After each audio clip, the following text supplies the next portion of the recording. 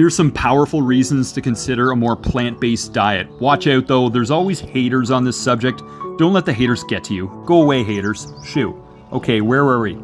Animals have a higher consciousness than plants, so they may cry and weep when they're being killed, and they might emit fear and anger, and all those feelings are said to leave their vibrations in the meat, which are absorbed by the person eating it. Secondly, meat takes three to four hours to digest, whereas vegetables take much less time.